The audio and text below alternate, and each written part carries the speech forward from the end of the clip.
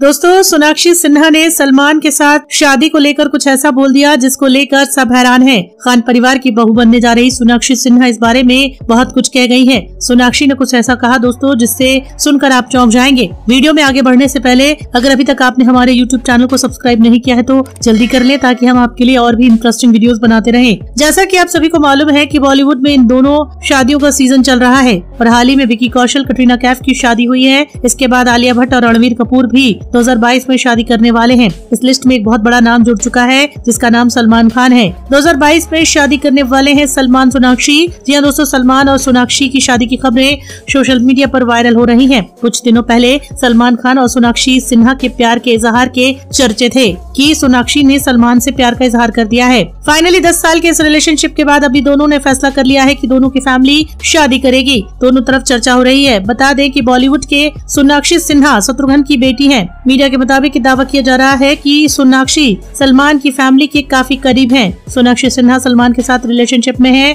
और खबरें ये भी चल रही हैं, कहा यह भी जा रहा है कि कुछ दिनों पहले सोनाक्षी सिन्हा बंटी सचदेवा से शादी करने वाली थी और बंटी सोहेल खान के साले हैं। सोनाक्षी सिन्हा और बंटी की अच्छी फ्रेंडशिप है। दोनों एक साथ पार्टियों में देखे जाते हैं। ये खबरें सोशल मीडिया पर काफ़ी वायरल हुई, लेकिन इस बार सोनाक्षी ने सामने आकर इंटरव्यू में राज खोल दिया। उन्होंने कहा कि मैं सलमान खान से शादी करना चाहती हूँ कोई बंटी और बबली से नहीं सोनाक्षी ने बताया कि प्लीज़ डोंट फेक न्यूज़ दोस्तों, अब देखना यह है कि सलमान और सोनाक्षी की शादी की डेट कब फिक्स होगी। दोस्तों, अगर आप भी सलमान खान के फ़ैन हैं तो वीडियो को लाइक और कमेंट करके ज़रूर बताएँ। धन्यवाद।